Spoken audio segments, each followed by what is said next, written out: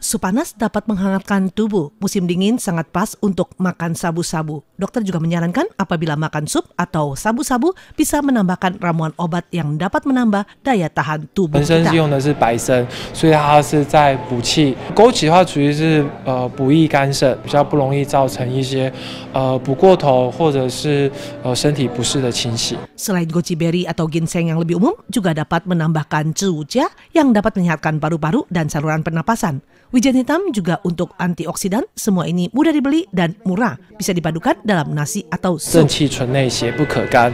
因因为只有你当你身体变好了之后，才可以抵御外邪的入侵。 Dokter mengatakan ingin lebih lengkap lagi bisa menambahkan linse atau jamur ulat, tapi obat-obatan ini lebih sulit didapat. Untuk itu, ada restoran yang bekerja sama menjadikan obat-obat Tiongkok ini ditumbuk menjadi bubuk sehingga bisa dicampur dalam sup atau kopi yang biasa kita minum.